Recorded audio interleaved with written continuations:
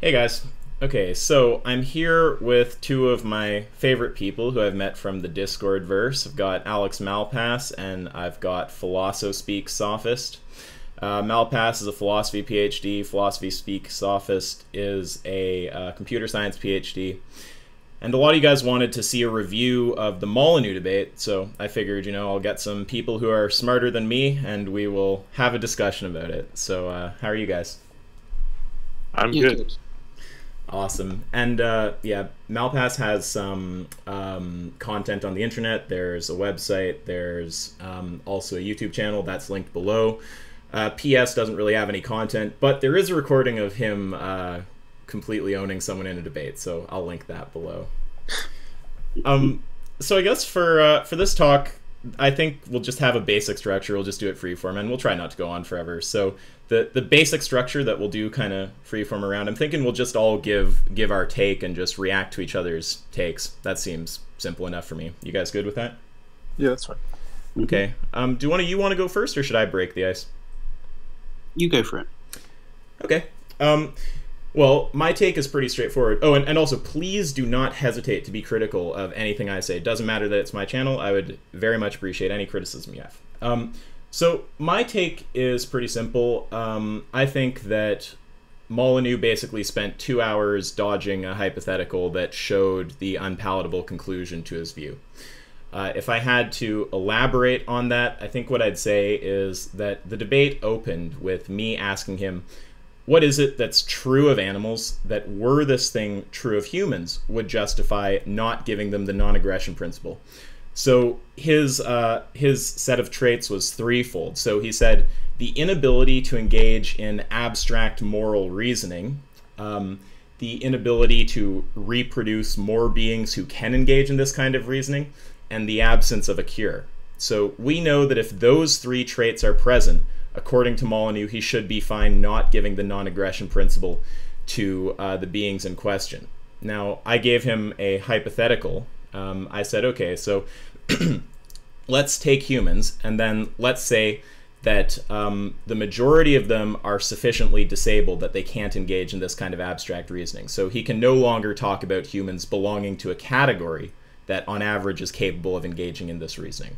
Uh, there's no cure, and they're also sterile, so they can't reproduce. In this situation, Molyneux should be fine with not giving the beings in question the non aggression principle, with murdering them if we want to. Um, now, he would just avoid this uh, conclusion to his view, and he would always do one of two things. So he would either um, he would either modify the hypothetical and then accept it, or he would not modify it, but instead just say there's something wrong with it. And I guess just quickly on those two things, I think that the modification stuff is um, no good because look, if you say that once these three criteria are met, it's fine to murder the beings that we're talking about, um, what's not reasonable to do is to then add some property to the situation, which is not entailed by the three properties you gave, right? So it's like if you give these three properties, there's some big set of possible worlds where those properties are in place. If you add some factor, like for example, the beings in question are suffering, that's just going to apply to some subset of the worlds where you're supposed to be okay with the murder, right? To then just talk about that subset and say, oh, well, in this subset, you know, it seems reasonable enough to murder the beings in question. That's just dodging the fact that with your three criteria in place, there's this whole range of other situations where you're supposed to be fine uh, with the murder. And then the other pathway of just saying there's something wrong with the hypothetical. Uh, he would just try to say it's impossible without actually showing how there's something like logically impossible about it, like a contradiction or invalid inference or something like this. Or he would just change around what he meant by something being characteristic of, of humans or, or uh, what he meant by the category of humans or what he meant by norm. Is it the average? Is it something about how a properly functioning human works, etc. So that's my uh, that's my general take. Uh, yeah, shall I go next then? yeah, go ahead. Yeah, you can give your own, react, whatever you prefer. Okay, so um, quite a lot of it uh, felt to me a bit like I don't know. I thought of an analogy. It was a bit like you were saying something like, um, like if you were locked in a prison cell, then you wouldn't be able to get out, right? And he went, no, because maybe I'd have a key. And you're like, okay, say you don't have a key. You go, oh no, because maybe there'd be a tunnel. And you're like, okay, say there isn't a tunnel or a key. Uh, maybe I could fit through the window. And like it was just a, a kind of weird. Um, I, I don't know. So it, it went on like that. It was a bit like chase the exception or something. Mm-hmm. Um, and I'm not sure if crediting him with he was doing it on purpose to avoid the conclusion is to kind of give a sense that there was um, a grasp of the situation that was kind of commanding, and it was a deliberate um, strategy of obfuscation rather than just a kind of sure um, impulse towards pedantry or something. Right? like I'm not sure which one of those it was. Yeah. So uh, there was something quite frustrating about, uh, and I think it was it was kind of um, there was something like um, it. That's the sort of thing that people think philosophy just is. It's just like um, trivial kind of. Um, it, like fictional fiction, creative writing, or something where you're just pretending um, in things that don't really have any substance to them. That, that, that, that it gave the, the type of argument we were trying to have, um, like it did a disservice to it with the way that it was like driven into the ground or something. So, so that those were my overall kind of impressions. Yep, I want to make one comment before we go to uh, PS. I I agree with all of that. Um, if my comment implied that it was deliberate as in he he totally understands what i'm doing and he's like consciously avoiding i wasn't trying to actually even imply that it could be just like you said an impulse towards pedantry or just you know a lack of understanding and just just i, I mean i have no idea but i'm not implying that he actually fully grasped what happened there um what about you uh, ps do you have do you have a take um well i agree with what you both said i think that fundamental. I don't understand how you can do philosophy. I think hypotheticals are just straightforwardly indispensable, not just to philosophy, but I think to most domains of thought. Like I don't know how you can do mathematics without it. I don't know how you can do a lot of natural science without it.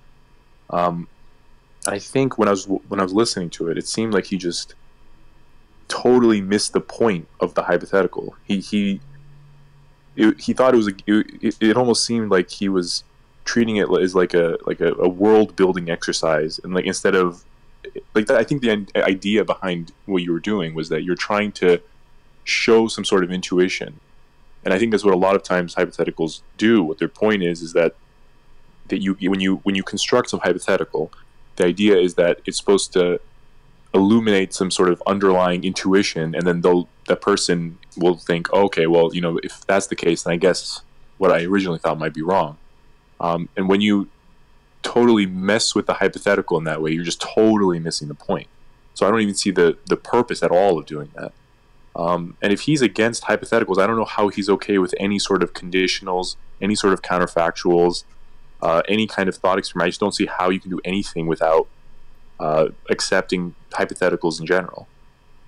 So that's probably what I would say. Um, yeah, I mean, that that seems all to make sense to me. I see you unmuted, uh, Malpass. You have something?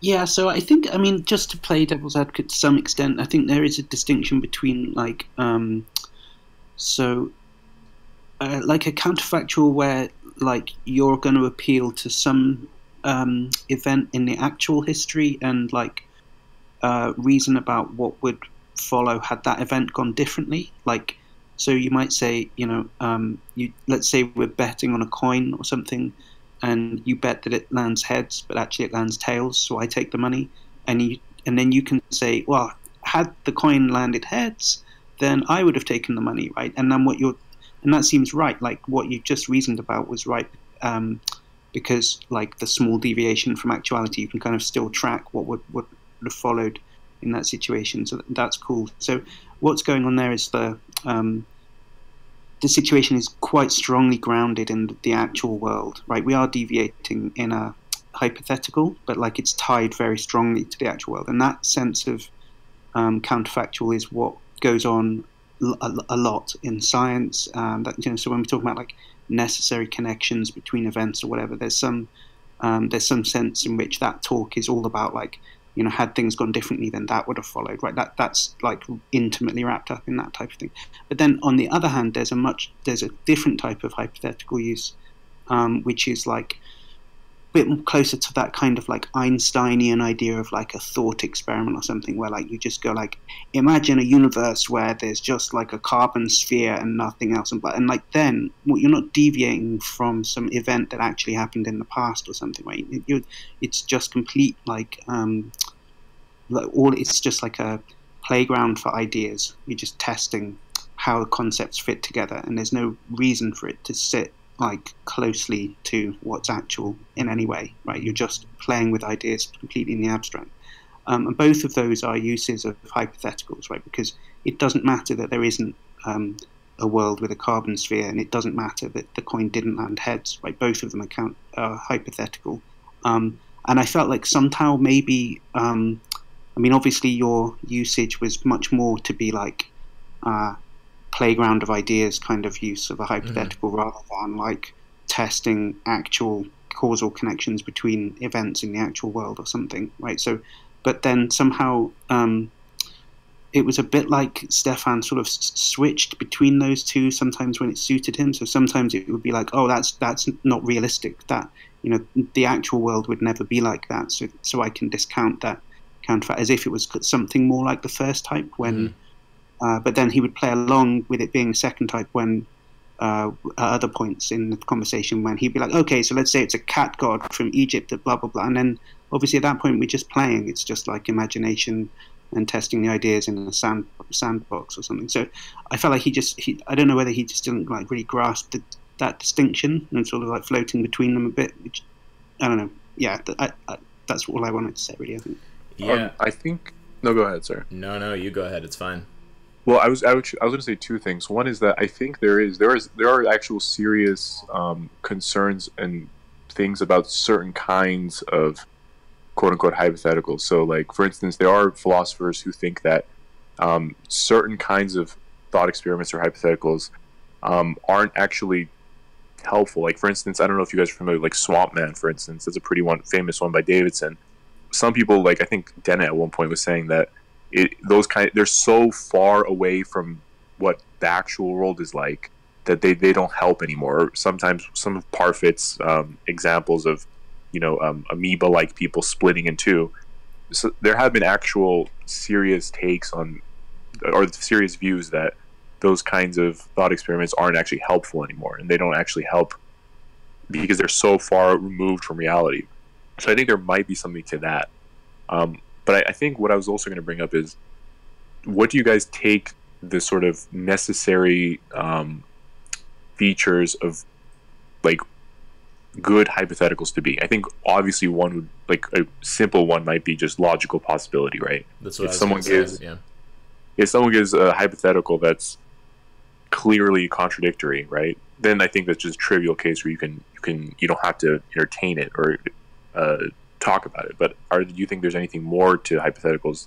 Because um, I think some people might say that it needs to be at least somewhat closely grounded with the way the actual world is in certain cases. Like um, I think Alex was saying, um, because if you get too far removed, you lose any benefit in terms of intuition. I, well, I think. Well, mine, mine's quick. I was just gonna say I think it would depend on the purpose of the hypothetical. So kind of like what Alex was saying, uh, you might you might have different purposes that you're going for, um, and so like the distinction he made was between trying to sort of like uh, kind of like plot out what might happen in reality if something went differently versus just a playground of ideas. I mean, if you were trying to do the former, then it seems like you wouldn't want something so far with with such massive alterations that you just couldn't really like predict what would happen or something. So I think it might be when you ask like what are the conditions for a good hypothetical i think that that might be like relativized to what it is the hypothetical is trying to do in the first place. Yeah i totally agree with that. I think that there's um, there's not just one type of hypothetical uh, uh, one type of like conditional or something um, where which, which we could subsume all of the different uses we might have for them under. Um, but I think, I mean, I think this we could, I could certainly talk about this for a long time. But when it comes to those. So there's something, some kind of easy to misunderstand delicacy when it comes to those that first type of counterfactual, right, where you're trying to reason about what things would be like if things were different in some way from the actual world. Um, interest of my own, but look, we should maybe get back to. Uh, yeah, I guess in the, in the interest of time, although it is an interesting path to go down, certainly. Um, so where what kind of took us into this area? We were talking about um, you know hypotheticals and if maybe there's some basis for dismissing certain types of hypotheticals or like maybe that basis depends on the purpose the hypothetical has we're talking about these kind of things now i think what stefan wants to say is something like the hypothetical is just too far removed from reality to be taken seriously but if for example the goal of the hypothetical is simply to show a contradiction in the other person's position i don't see how that criticism would be relevant like it doesn't matter if I have to create like you know what whatever it is a swamp man or a, dividing human or something like that. Um, bottom line, if that gets you to affirm a proposition and its negation, that shows that your position is contradictory. Do you guys see a problem with that? Um, not really. Although I will say that it seems to me that when we're talking about hypotheticals that are, like you said, really far removed from reality, um, the sort of bullet to bite becomes less and less, right? So if if someone has all, let's say, some huge, you know, uh, conjunction of and uh, reasons for what's what you know uh, separates the value of uh, eating human versus an animal, and you have to construct this really, really elaborate um, hypothetical to to sort of create some contradiction, the the more and more you have to add, the less and less it's going to be like it's not going to feel as much of a, a, problem for that person, presumably, unless it's like really like little trivial things that make no difference. Um, no, go ahead. Well, yeah, I'm, I'm inclined to agree with that, um, but I think, I mean, you tell me if you disagree, but I think that this hypothetical is still firmly in the range that the vast majority of people would feel uncomfortable with it. So for example, like like let's just let's just actually think about it. I mean, if there's disabled people out there who can't reproduce and who can't be cured and they make up some significant amount of the population, like do any of us feel as though it would be fine to just kill those people? I mean, I think that my intuitions are perfectly clear there and I think most people's intuitions are perfectly clear there. Yeah, I think I would agree. Although, do you think that intuition tracks well with further and further, quote unquote, away from uh, the actual world hypotheticals. Okay, I so don't. I, I'm worrying immediately that I've committed myself to something weird by using the word intuition. Like I could just say something like moral evaluation. Like I just. Well, yeah, yeah. So mm-hmm. I, I don't mean to interrupt, but just the it. example I was using before, for instance, with Swamp Man, right? I don't know if you're familiar with the, the thought experiment, but That's the idea is that it's uh, very very roughly it's it, the the part that people don't like is that it's about a guy who's walking in a swamp a lightning um, he, he dies and then lightning forms an exact replica next to him right mm. and then there's there, it has something to do with uh, that's not it's not really important what the what he's trying to say but the point is that when we try and the argument is trying to use intuition um, to to get to some to end, right? And the idea is that when we're constructing hypotheticals that are so far removed from reality, the intuition that we may get get from it is just useless, is what might some people have said. So I'm just curious what you think about that. Um, if the hypothetical is far enough removed from reality, the intuition we get from it might be useless. Um, it's not clear to me why that would be true. I mean, it seems it seems more obviously true to me if we talk about something like I don't know, maybe like like physics or science or something like this where like if we remove enough factors our reasoning ability gets like you know it's it's like it, it might become way harder to reason about that situation. Um, in fact now that i say that i don't honestly i don't even know if i don't even know if that makes much sense. Like look with these kind of situations i'm, I'm just thinking about are kind of like the moral evaluation we make. And what I'm looking for is just a situation where most people will make a perfectly clear moral evaluation. Um, so I don't know. I mean, like, I, it seems it seems like let's just apply that criticism to this specific instance. Um, I think that you'd have a hard time convincing people that um, their intuitions are, are going so far awry there or something that they actually should be comfortable with you know killing these disabled people. There might there's so uh, with respect to your point, like I don't know, maybe maybe it is the case that our um, our intuitions become less useful the further we or less likely to be true the further we get away from reality. Um, but I still am just inclined to defend this specific hypothetical because it's the one I, I used in debate, and it just seems like I think I think with the conditions I gave, you'd have a very hard time getting most people to abandon the intuition they have there about the moral value of the being. So I don't know if that fully addresses what you're asking about. Um, I think I think uh, I would probably agree with that. I think um, at least with I, maybe we shouldn't go too far awry with like possible hypotheticals and more so what you actually gave. Um, I think that one was probably perfectly reasonable. I, I never saw any issue with it. And um, one thing that I found kind of strange was that uh, for some reason, like essentialisms kept popping up. Um, where I, f- I forgot exactly what was being said, but something like, "Oh well, they're not humans anymore," right? Mm-hmm. Because I think it was when you were talking about, um, yep. Because uh, I, I, think in in uh, when you were talking about them not being able to produce uh, healthy humans or something, and they said, "Well, those people." Were, I could be wrong, so you know, don't don't quote me on this. But there was some point where he was saying, "Well, they're just not humans anymore." Mm-hmm. Um, because yeah. I think in that case, if a hypoth- if, if if suppose we agree that there are essential properties and properties that when when some x has an essential property y, right? If any possible world x is instantiated has to have y, right? In mm-hmm. those kind of cases, if we construct hypotheticals that re- reject that, suppose like I, I think that some x that does have a y uh, mm-hmm. essential property, sure. and I say, oh well, suppose a hypothetical where it didn't have this property, then we might be running into some issues. Yeah. Um, depending on how you view um, like essential versus accidental properties. But I don't think anyone would I don't know anyone who would accept the view, even people who accept essential properties, that humans have that specific property. I think even if that might work for other properties, I think it would totally fail for this specific uh, conversation. Sorry, the specific property being the ability to produce further beings which can engage in abstract moral reasoning. Yeah, it was something. I, I don't remember. It was since I watched it, but I think there was a period where he was like, "Well, those those things aren't human." Um, mm-hmm. Yeah, yeah. Um, well, the essential properties stuff, like, okay, so so I definitely grant that if the person we're talking to thinks that there are essential properties, and um, we give a hypothetical where some being or object or whatever doesn't have one of its essential properties, that's just going to be incoherent to them.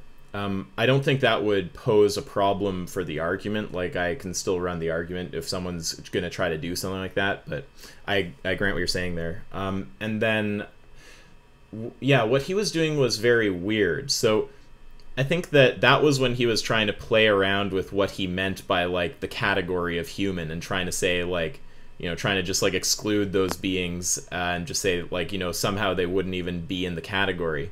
And it was weird because at the start he it, like he was talking about what the category could do and i would talk about you know disabled people and they you know fall within the category but then later he started sort of saying the category is defined by like the normal function of its members and then even if the majority like naturally evolved to have normal function that's you know similar to like a, a disabled person or something like this that somehow that's still not like the normal function that defines the category um, all, all of that I put in that kind of second bucket of like not modifying the hypothetical and accepting, but instead trying to like pick some problem with the hypothetical. Like, oh, you're not tracking what I mean by like category human, something like this.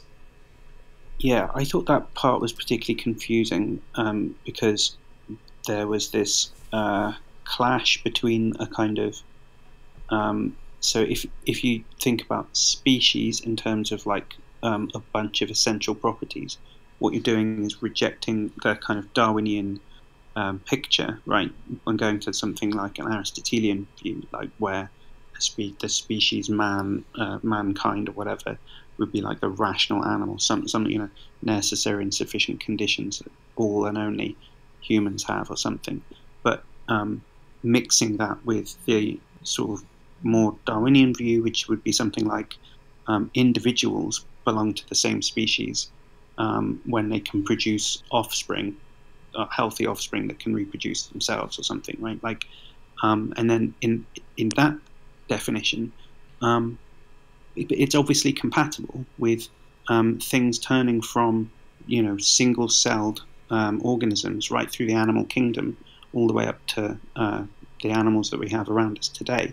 So obviously, it would allow um, radical changes in genetic makeup or whatnot, right? So um, there's nothing fixed about that. Then you know you can't say, well, you know, if humans drifted genetically and had radically different properties, um, like they wouldn't be human anymore because there's this fixed Aristotelian idea of what a human is. I mean, like they would have all just faded seamlessly from the people we are now to, to that other thing later on. I mean, like it, I don't know, it just felt like there was a mixture of two different ideas of uh, speciesism or something, like essentialism versus uh, Darwinism or something like that. I can't quite put my finger on how that worked, but there was something very confusing about the switch between those two. And he either appealed to like, you know, the definition of rabbit or something.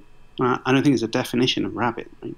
It's you know, from a Darwinian point of view, it's just grounded in like a bunch of beings that can reproduce with each other. There's no definition.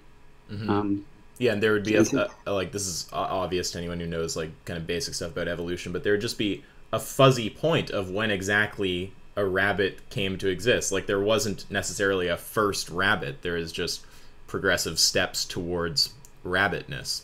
Yeah. Mm-hmm.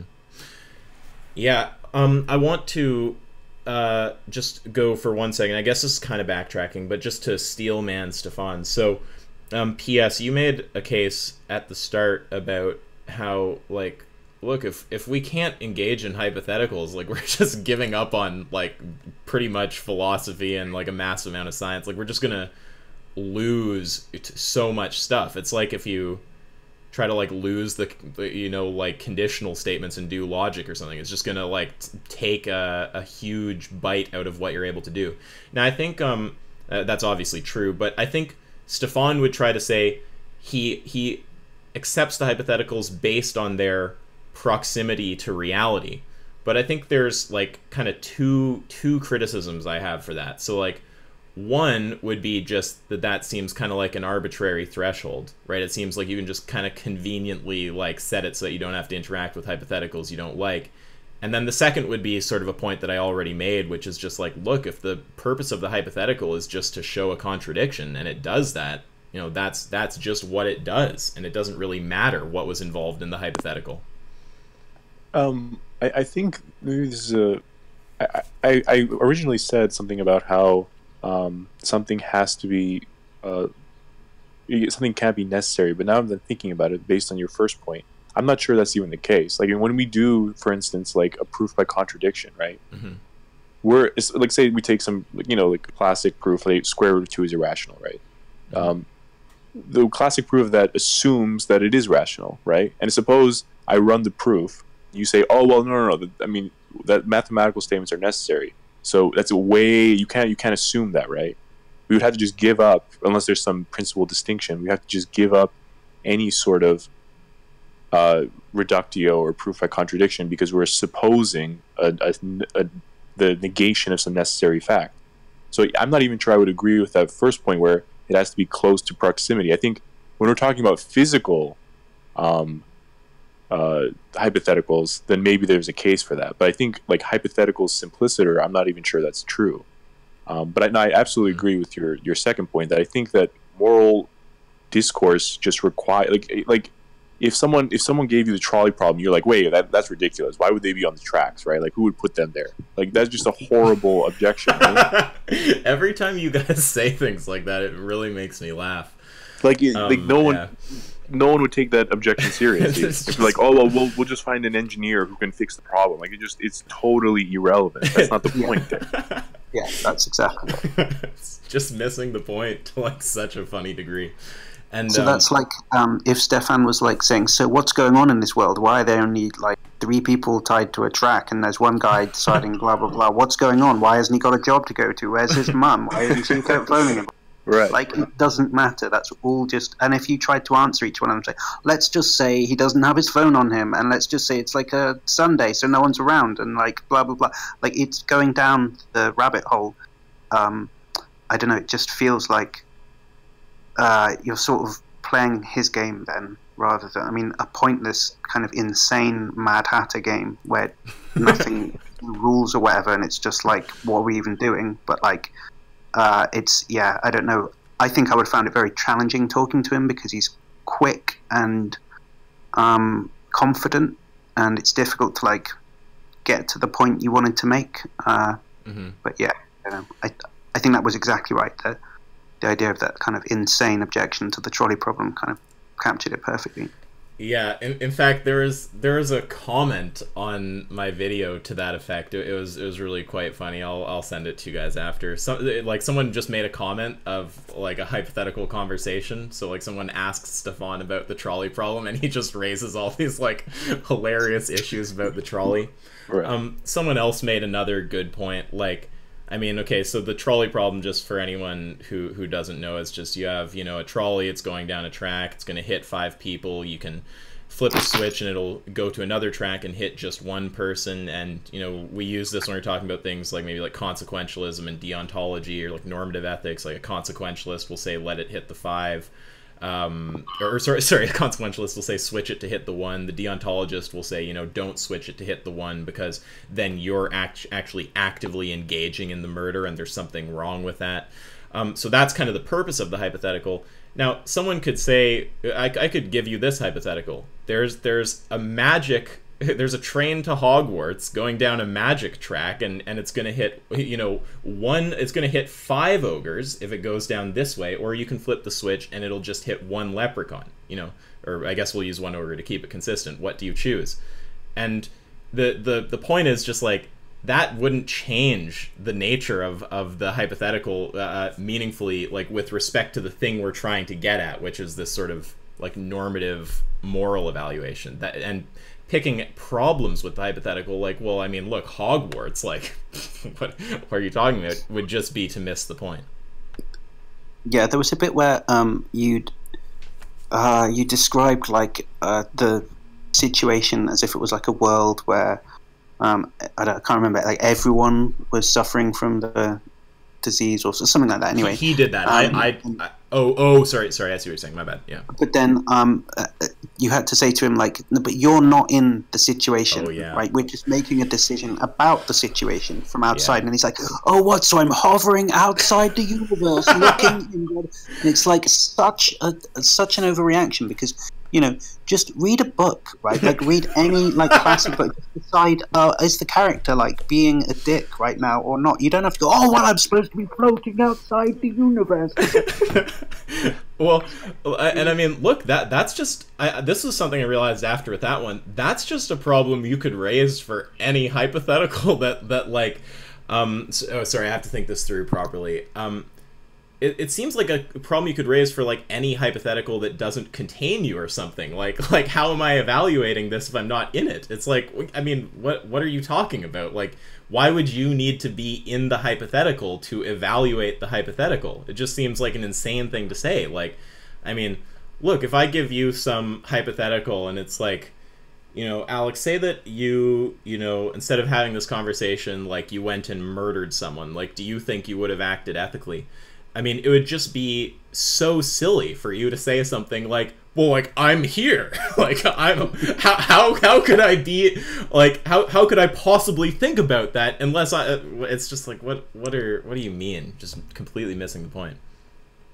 yeah. Um, okay, well, look, I think we're, um, we're, we're saying a lot of the same things. Uh, maybe we'll just go over like one or two more things and call it. Um, so one thing I wanted to, I mentioned this sort of when I did my little take at the start, and I just want um, your guys' takes on this because this seems straightforward to me, but you know maybe I'm maybe I'm missing something. So um, say that you know like P.S. I ask you, um, you know, what are the sufficient conditions to justify murdering a human, and you say something like uh, they're attacking me, right? And then or, or here, here, let me let me uh, let me just think for one second of, of a better way to do this. Um, it's generating the example that's boggling my mind. I'm gonna just talk about it in the abstract, and then we can do an example if we need to. So, a problem that I have is that if you're asked for the necessary conditions for something and you give them, then you're saying, as long as these conditions are met, you know, X follows. In this case, like I'm okay with murder, right? As Mhm. long as the this set of conditions is met. Now, there's a range of possible worlds where that set of conditions are met.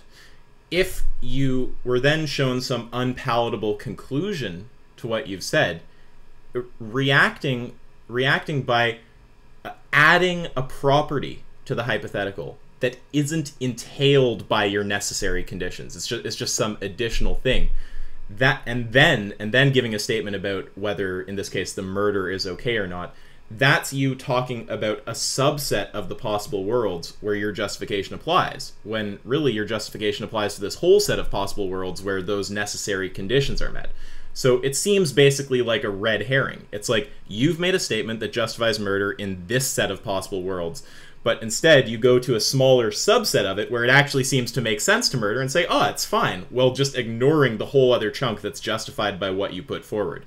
Um, so that that adding of a factor and then responding only to the subset where you add the factor seems to me like a red herring because it's not addressing the whole category where you said it's okay to commit the action in this case murder does that does that make sense do you guys agree or am i making an error I, I think I agree. I think you don't even need to talk about sets of possible worlds. I think you just talk about one possible world and you're straightforwardly changing it.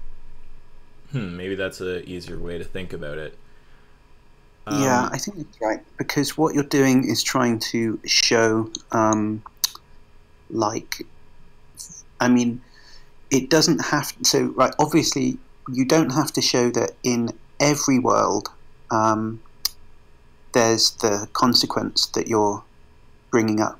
What you're trying to do is say there's some world where Stefan's principles apply, but that the opposite consequence pops out, right? Like it. So, so his calculation is uh, if you apply these rules, then the outcome should be something moral follows from it.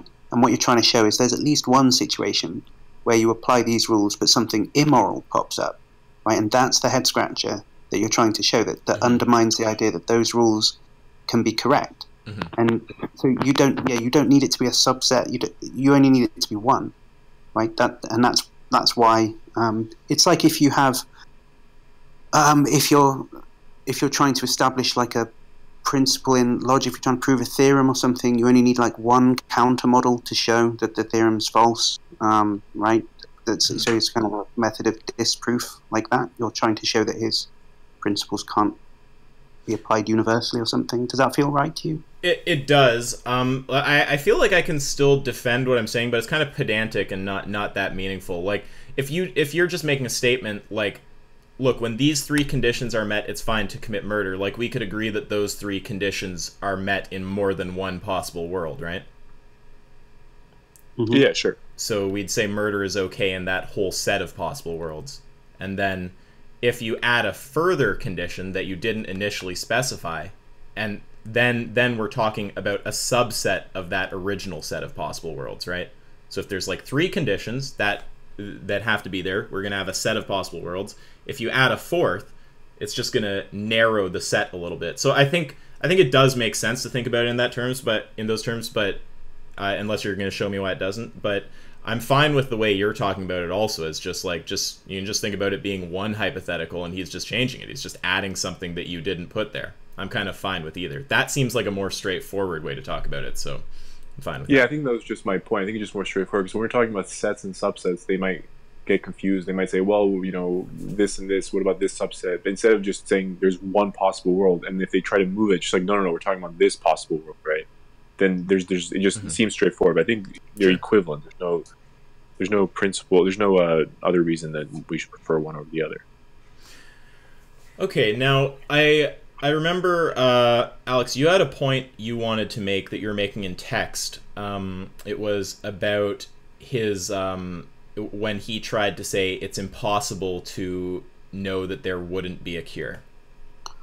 Yeah. Okay. So so this was an example. It seemed to me of like um, uh, like a tactical nuke of um, radical skepticism, right? and the problem with using it a tactical nuke is that there's like um, fallout from that that you didn't expect that comes your way after you've used it. Hmm. It's not a very good weapon to detonate. Um, so what I mean is, um, so there was a point where let me see if I can remember all the pieces. So I think what what was going on was you were saying, um, all right, so let's just imagine that there are these beings that have like um, diminished moral reasoning capacity mm-hmm. um, and what whatever, right? That um, and they're bestruck by some disease, right?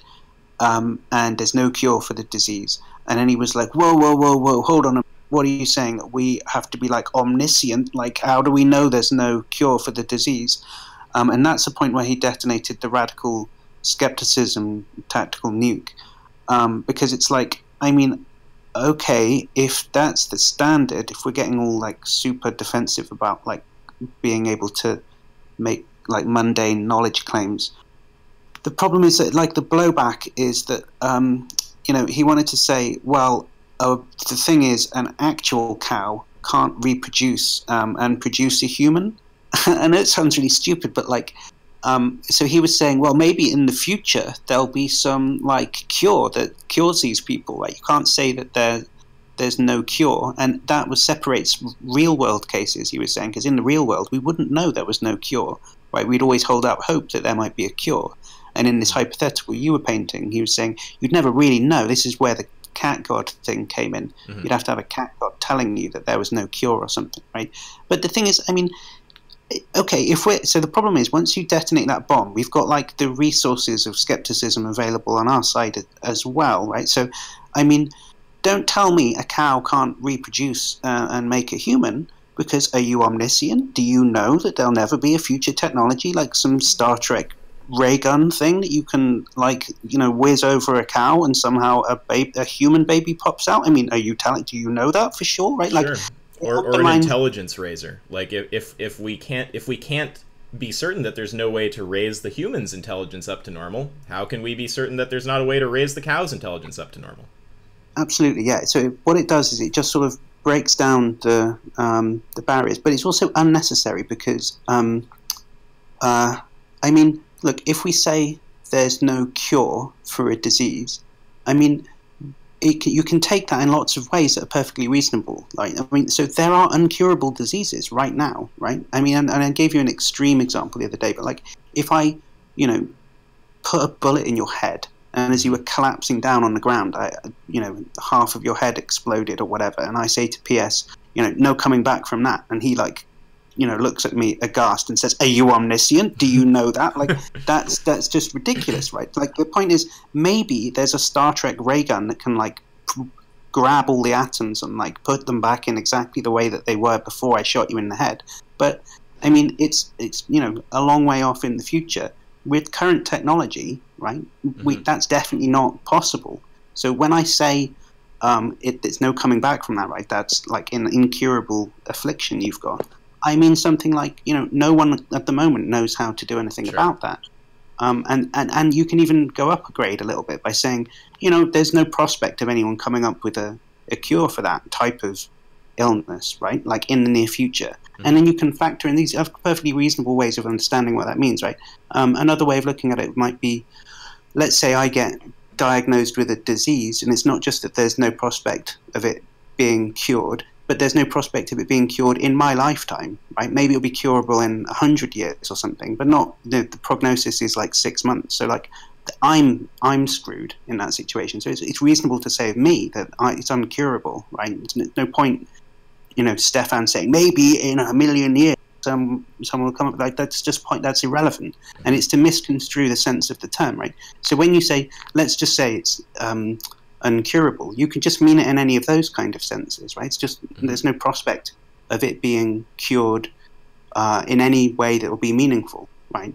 It's, it's so far off that it won't make any difference. And it just seems to me like once you bring that back in, then that whole defense that he had, which is that this is an, a completely different from uh, the actual world because you have to bring in wizards and blah blah blah. Like you don't have to do that. You just have to like not detonate the skeptical nuke, right? And just talk normally about what the claim actually entails. It has nothing to do with being omniscient.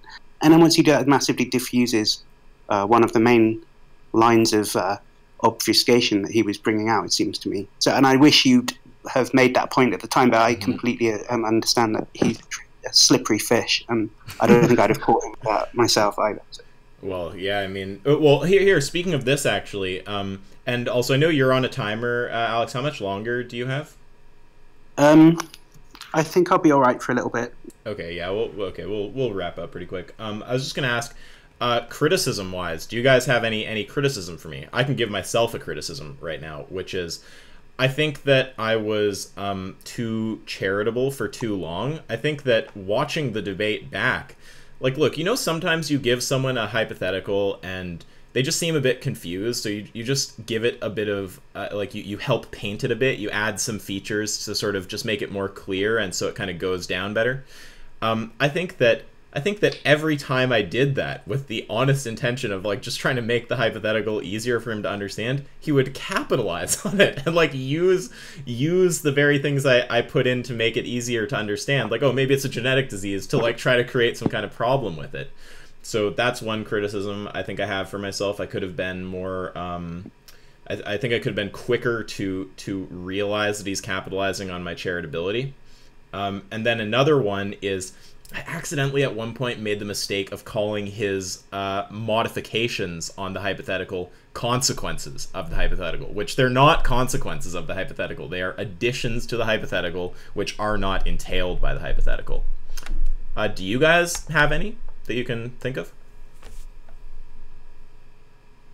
Um, I think uh, I would probably agree with you. For I think when I was when I was listening to it um, a little bit bit back ago, I was I think you were being a little bit too um, you were giving him too much space. I think if that makes sense, you were you were allowing him like you. I think you could have pushed back way harder and said, "Well, well, that's totally irrelevant. You know, this is important. Mm-hmm. You were being, I think, too, I, yeah, obviously you should be nice in the debate, but I think you were being very, very charitable, like you said. Um, and so you were kind of entertaining him, and then he just kept, you know, dry. He just kept pushing in the in the wrong direction, right? And so it didn't really go as far as it could have, and he just ended up dodging the entire thing, right? Just by saying, "Well, you know, what about this and this?" And you kept entertaining that, right? So I think that's just one. I wouldn't even really call that a bad thing. That's just being nice, right? I don't know if it's it's fair to say being nice is a bad thing, but um, I, th- I think being being nice when it's clear someone's capitalizing on the niceness to do something that's not in your interest. I think I think it's fair to say that's a bad thing. Yeah, I don't know if he was doing like you said. I don't know if he was doing it intentionally or if he was just. That's uh, sure, sure yeah, yeah. I don't mean to attribute intention. Yeah. yeah, yeah. But other than that, I, I thought you did a good job. Okay. Um, you have any uh, you have any criticisms you can think of, uh, Malpass? Um, other than not thinking of the things that I thought of to say. Um, uh, but I suppose I think um, he obviously he, I mean, he, even said, and it was it was um, there was some kind of note of regret at this point towards the end where he said something like, "Oh, I'd spent ages like researching." Um, I can't remember what it was, yep. but like you know. Like, land usage sure. with vegetables versus animals or something like that. And it was as if he was quite sad that he had a couple of facts like written on his arm that he wanted to say and didn't get to say them. Um, uh, but I think what that showed was that he was expecting a different type of mm-hmm. conversation. And what I think he was preparing for was like um, not really a, a, philosophical conversation as much as a kind of, I, I don't know, political or, or, sort of moral, but in a less abstract sense. I, I think what he got was um, a, a, kind of metaphysics of veganism debate, which he wasn't prepared for. And, um, you know, like. Uh, we were talking. You know, that's why essentialism and stuff is coming up, like trait switching and stuff. It's mm-hmm. it's quite um, you know you have to kind of um, be ready to have that type of abstract conversation. I, I think possibly he he needed to be prepared more, buttered up a bit, ready for like having that type of conversation because I think some of this um, pedantry was a kind of knee jerk, um, like treading water or something, trying to um, deal with an unexpected type of uh, debate, and, and I think one sorry, one other point I think was um, uh, I, I think I guess um, my approach to this, I think I would have probably just like presented the alternative view. Um, so instead of saying so, so what was going on was you were contrast. You were trying to say, look, that there's this weird consequence for your view, right? Mm. That like you can plug in whatever values you you think is the moral calculus, and what pops out is I'll be able to come up with a situation that, that's really weird and counterintuitive, where mm-hmm. it doesn't look right to say that it's that we should be killing those creatures or whatever. Yep. Um, but I think in order to sort of help the um, to ease them over to the other side. I think it's like the positive case could be made as well instead of just mm-hmm. sort of like saying your your view leads to this craziness.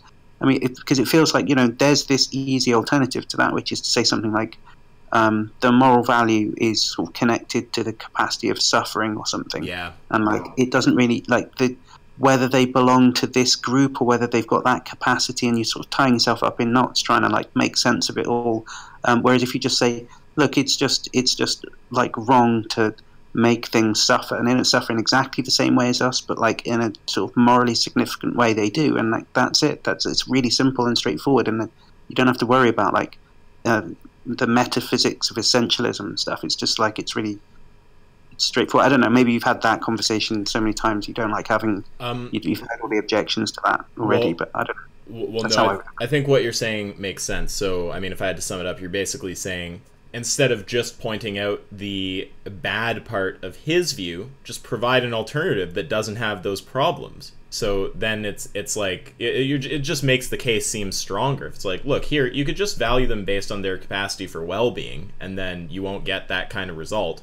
Um, that will that that kind of makes my side seem more reasonable. I'm into that. The thing that um, the the thing like I have had thoughts about doing that before. Um, the thing that holds me back is just that sometimes people use that to derail from the problem with their view and then try to turn yeah. it into an internal critique on my view, which uh, like I mean I'm I'm fine with that. Like I'm I'm happy to play defense, but it's like if I have the offense, like I some I like to I like to keep it instead of like opening up this like random kind of pathway of, of attack for them. But you know, I don't I don't ultimately know what's more effective. So you could just be right that that's a better way to proceed. Yeah, I don't know if it would be more effective. Like, I don't know if it'd be more effective. I guess, but I I just think that um, uh, yeah, laying out both the negative and the positive, like saying, look, it's super difficult on this side, but you could just sidestep all those difficulties yeah. by making this, yeah. and it just sort yeah. of makes the it's that itself can be so just the difficulty with the alternatives itself can be a positive argument for a position. Mm-hmm. Um, and sometimes when these positions are quite abstract and difficult to, um, you know, like prove, prove or something, just the fact that all the other alternatives seem really weird and difficult uh, is itself a reason to, to adopt something. And, and that's stra- straightforward way that philosophers um, like to present their arguments and stuff. So I don't know. Yeah. Well, I mean, my my approach to debate is trial and error. So I'll try try adding that in, do a few debates, see what kind of results I get, and I'll get back to you. Um. All right, guys. Well, look. I mean, I think we've I think we've been over the the gist of it. Um, I don't know if you have any other points. You're welcome to make them. Uh, uh maybe we can get a, a closing note that we all agree on here. Um, I think that in closing, could we agree with the general view that this was just two hours of Stefan avoiding a hypothetical that showed a problem with his position, regardless of whether that avoidance was intentional or not? Uh, yeah, I think I can agree to that. That's what it sounded like, yeah. Okay. well, on that note, um, unless you guys have any other things you want to say? I know. I think um, I think uh, I'm pretty much good. I think there's also I think there's a lot of things to say about uh, hypotheticals that are maybe more interesting than what uh, your your your debater was saying. Mm-hmm. Um, but I just I, I just don't think they're relevant to this conversation at all. I think because uh, when people when people generally and there are people like I said who are skeptical of hypotheticals and hypothetical reasoning, they don't make bad arguments like what you were uh, exposed to. So it's a shame because I think there's a lot of interesting like literature on this. It's just that it's totally irrelevant to the point that uh, Stefan was making. well, yeah, I think Stefan's quite um, ignorant of a, l- a lot of.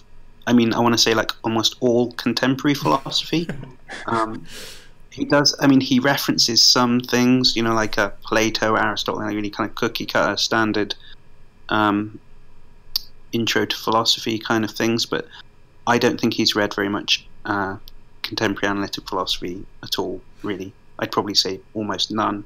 So, yeah, there was a kind of clash there. He he thinks he's doing philosophy. I don't think he does.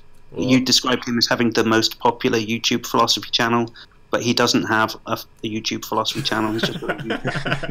He's just got a YouTube um, yeah, I mean, one one point that you once made that was funny was when he didn't know what a hypothetical norm is. Which again, it's fine. It's fine to not know what these things are, but it's it's not fine to bill yourself as the largest philosophy channel on YouTube and not know what a hypothetical norm is. yeah, and write books on moral philosophy. oh, uh, Alex, th- this one would have really triggered you. He uh, he wrote a book called uh, "The Art of the Argument." And Mhm. you can uh, you can find a video on Destiny's channel where um, he's uh, he, he's got some screenshots up there um, from the original issue, and he, so he's writing a book about argumentation, and he was misusing words like validity and soundness. I mean, don't don't take my word for it. Go see for yourself. But assuming that's the case, I mean, that would be a, a pretty like crazy thing to be doing. Writing a book about arguments while not knowing what validity and soundness are. Yeah, I think I've come across that before. And in that rationality rules thing, there was a bit where he was like libertarian free will. I've never heard of that before. that? It's like what the fuck? Like, uh, that was funny. Uh, okay, well, you know, I thought we might get more disagreement. Was a bit of a circle jerk, but you know, sometimes that happens when someone makes bad points. It was great talking to you guys, and uh, I hope we hope we do it again soon. I hope you had fun. Cool. Yeah, thanks. Thanks. Peace.